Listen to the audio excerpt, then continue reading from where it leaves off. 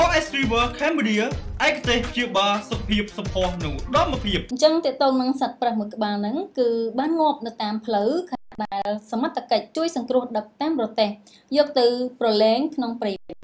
ហេតុការងាប់សត្វប្រើសដែលជាប្រភេទសត្វកម្រនេះបានកើតឡើងនៅព្រឹកព្រលឹមថ្ងៃទី7ខែតុលាឆ្នាំ2019នេះស្ថិតនៅក្នុងភូមិពោឃុំពោស្រុកត្បាញមានជ័យខេត្តព្រះវិហារលោកវរៈសេនីតូរិទ្ធសុណាអធិការនគរបាលស្រុកត្បៃមានជ័យបានឲ្យដឹងថា នៅព្រឹកថ្ងៃនេះវេលាម៉ោងប្រហែលជា5ទៀបភ្លឺមានសត្វប្រើសឈ្មោលមួយក្បាលបានរត់ចូលភូមិឃុំខាងលើទាំងមានរបួសគឺដូច្នោះប្រជាពលរដ្ឋក្នុងភូមិបានរាយការណ៍ប្រាប់សមត្ថកិច្ចនិងមន្ត្រីអភិរក្សសត្វព្រៃឲ្យទៅពិនិត្យនិងទៅទទួលយកមកព្យាបាលនិងប្រឡែងក្នុងព្រៃវិញ លោកអធិការស្រុកបានបន្តទៀតថាក្រោយពីទទួលព័ត៌មានពីប្រជាពលរដ្ឋរួចមកសមត្ថកិច្ចនិងមន្ត្រីជំនាញអភិរក្សសត្វព្រៃបានទៅដឹកសត្វប្រើសនោះដើម្បីយកទៅព្យាបាលតែដោយសារការរងចាំគ្រូពេទ្យយូរមកពីខាងខេត្តសៀមរាបទើបសមត្ថកិច្ចក៏បានដឹកប្រើសនោះតាមប្រទេសដើម្បីយកទៅប្រឡែងក្នុងព្រៃព្រះរកាវិញតែជាអកុសលសត្វប្រើសនោះក៏បានងាប់តាម ម្ដងលោករតសនាបានបន្តថាក្រោយពីសត្វប្រើសនោះបានងាប់តាមផ្លូវសមត្ថកិច្ចដឹក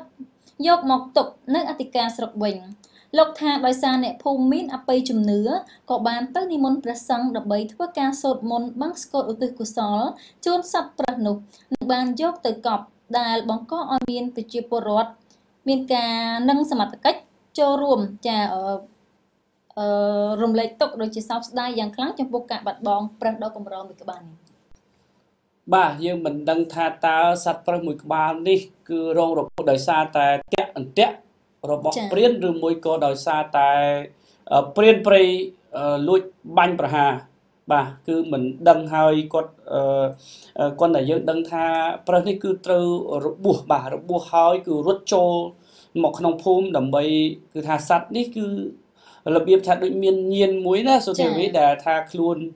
ត្រូវរបួសឈឺចាប់អញ្ចឹងរត់មកឲ្យអ្នកស្រុកជួយតែម្ដងគឺគោលដៅនោះគឺថាខំរត់មកក្នុងភូមិដើម្បីឲ្យអ្នកស្រុកអ្នកភូមិជួយហើយអបិយជំនឿធម្មតាទេរបស់អ្នកស្រុកអ្នកភូមិដែលរស់នៅតាមព្រៃភ្នំជាដើមនេះ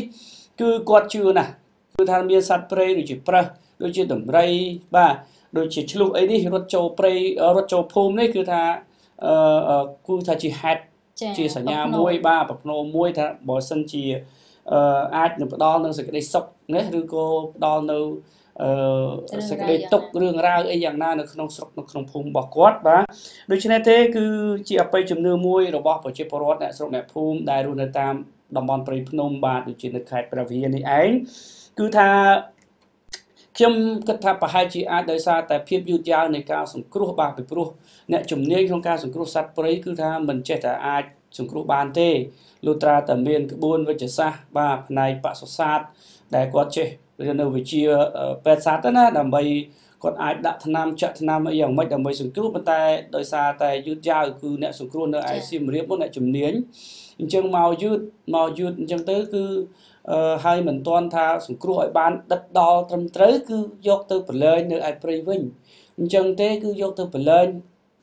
ពេលតែដល់ទៅពាក់កណ្ដាលផ្លូវនោះគឺប្រើសនឹងងាប់បាត់ទៅហើយបាទអញ្ចឹងបកត្រឡប់យកមកធ្វើបុណ្យបាទអញ្ចឹងធ្វើបុណ្យបុណ្យនេះគឺថាបុណ្យសព